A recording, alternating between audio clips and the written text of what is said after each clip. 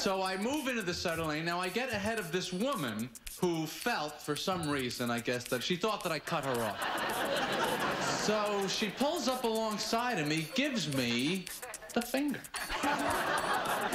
It seems like such a arbitrary, ridiculous thing to just pick a finger and you show it to the person.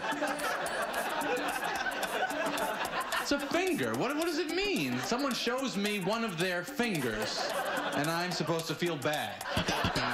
Is that the way it's supposed to work? I mean, you could just give someone the toe, really, couldn't you? I would feel worse if I got the toe than if I got the finger. Because it's not easy to give someone the toe. You got to get the shoe off, the sock off, and drive, get it up in the...